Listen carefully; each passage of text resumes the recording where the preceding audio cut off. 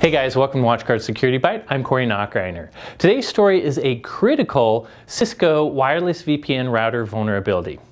Cisco sells a range of products that they loosely call their Wireless-N VPN routers. They obviously can perform some wireless routing capability and can offer some VPN.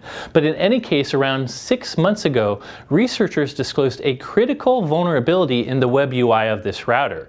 Without going into all the technical details, basically if your management UI is exposed remotely, if you've turned on remote management, a single web packet could allow an attacker to execute remote code and gain control of this routing device. It's a very big vulnerability. Now the good news, the reason I'm sharing this story with you is Cisco announced it today and they have a patch for it. So this is a really quick security byte. If you happen to be a user of Cisco's wireless VPN routers or multifunction VPN devices, be sure to go get that update as soon as possible because it's very critical.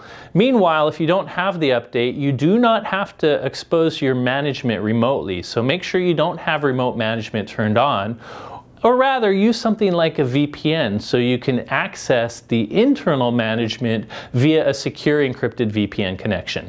One quick aside, next week is the RSA Security Conference, which I'm attending. I do plan on uh, trying to make some videos then, but you may not get videos regularly, or like this week, I may have created some videos, but I may have to post a bunch on one particular day rather than having them every individual day. Anyways, that's it for today's story. Thank you for watching.